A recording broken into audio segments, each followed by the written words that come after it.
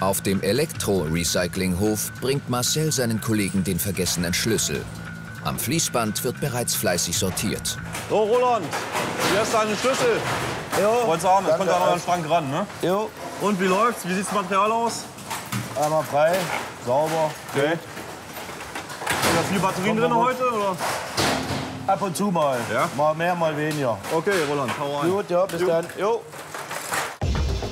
Etwa 90 Tonnen sortieren Roland und seine Kollegen pro Tag. Um bestmöglich arbeiten zu können, darf das Fließband nicht zu voll geladen werden.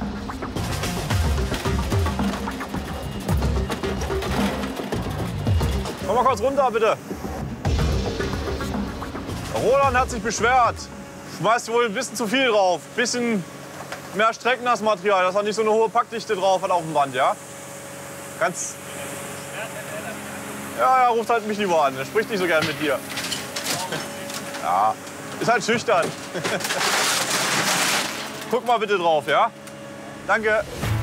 Täglich werden 250 Tonnen Elektroschrott von Wertstoffhöfen und Firmen unsortiert angeliefert.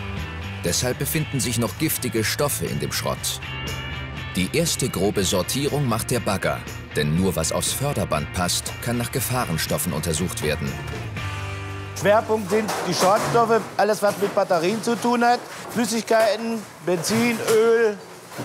Gibt auch mitunter Gerätschaften, wo Quecksilber drin ist. Das ist alles eine gefährliche Sache. Die, deswegen müssen die raus, weil die sonst über den Schredder und so weiter nicht weiterverarbeitet. Das auch explosiv sein kann mitunter. Wenn das konzentriert dann ankommt, das ist zu gefährlich.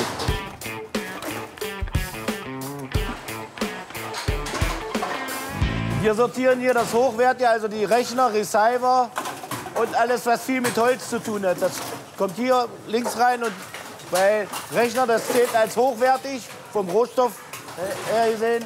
Und darum müssen wir die gesondert rausnehmen. Also es ist schon äh, recht harter Job. Ja, man muss ab und zu mal ein bisschen Platzjogging machen, dann geht das schon. Acht Stunden am Tag stehen die Mitarbeiter hochkonzentriert am Band und sortieren den Elektroschrott nach Gefahrstoffen und Qualität. Marcel wirft einen Kontrollblick auf die fertig sortierten Teile. Alles, was sich entzünden kann, muss entfernt sein. Sonst besteht höchste Brandgefahr bei der Zerkleinerung. Ja, hier kann man schön sehen. Durchsortiertes Material.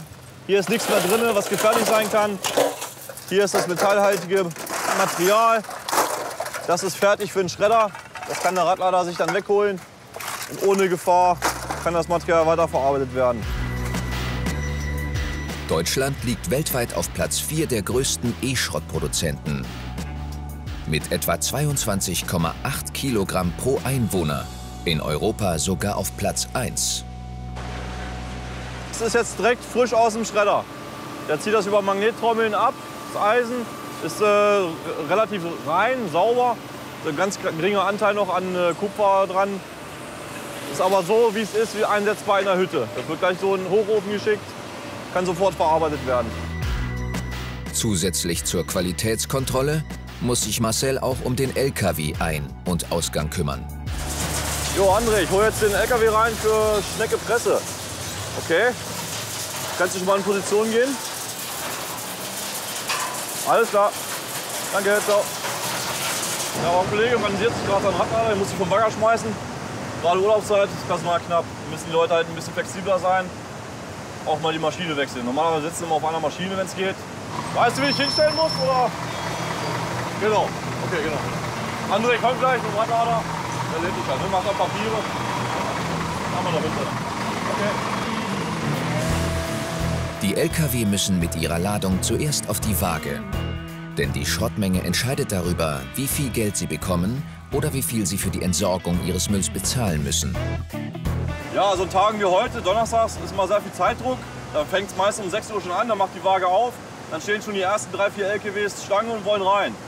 Jetzt auch gleich äh, Mittagszeit, deswegen muss er jetzt ein bisschen Feuer machen. Der Radladerfahrer, dass er noch fertig wird. Sonst muss er eine Pause verschieben. Marcel muss dafür sorgen, dass auf dem Hof alles reibungslos abläuft.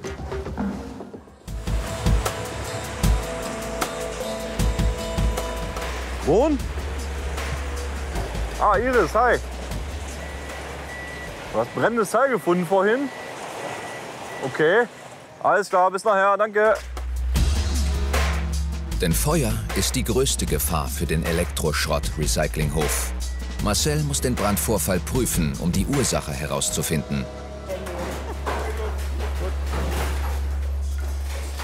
Iris, Ja. du hast mich angerufen. Ihr hattet Ja. irgendwie äh, Material gefunden, was hier nicht reingehört, was gequalmt hat vorhin. Genau, wir haben ein Steuergerät gefunden, gehe ich mal von aus. Okay, lass uns mal draußen mal Lichter angucken. Ja, Etwa einmal die Woche kommt es zu einer Rauchentwicklung in der Sortieranlage. Dabei handelt es sich vor allem um beschädigte Lithium-Ionen-Akkus. Was haben Sie denn gesagt? Was hat hier gekokelt? das Teil soll gekokelt haben. Kann aber meiner Meinung nach nicht, weil es ein Steuergerät ist. Ja. Meiner Meinung nach ist das eine vergossene Spule, Ja. wo gar nichts drinne brennen könnte. Wir gehen davon aus, dass einfach nur unglücklicherweise ein Teil da drauf gelandet ist, was Ja. brennbar ist. Okay. und dadurch halt eben die Qualmentwicklung gewesen ist. Das wird jetzt auf eine andere Etage gegeben. Da sitzen Leute, die das richtige Werkzeug haben, die montieren das jetzt auseinander und können uns dann hinterher sagen, was für Bauteile da verbaut wurden, ob die gefährlich sind oder nicht. Das ist so der Werdegang jetzt. Die nächsten Berge Elektroschrott warten schon darauf, recycelt zu werden. Ja, wenn ich das so sehe, was alles weggeschmissen wird, ist es schon erschreckend. Das ist jetzt die ganze Anlieferung von einer knappen Woche. Da kann man sich etwa vorstellen, was hier übers Jahr gerechnet zusammenkommt. Wir haben hier am Tagesanlieferung so zwischen 250 bis 300 Tonnen. Und das finde ich sehr beängstigend, wenn ich sehe, was hier landet.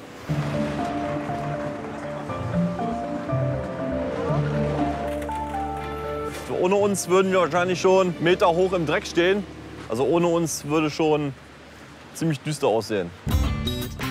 Über 1000 Tonnen Elektroschrott aus Deutschland sind hier heute ein- und ausgegangen. Nach neun Stunden geht Marcells Schicht zu Ende. So, geschafft für heute. Füße qualmen. Ich bin froh, dass der Tag rum ist. Wir haben ja gut was bewegt heute, unsere Leute.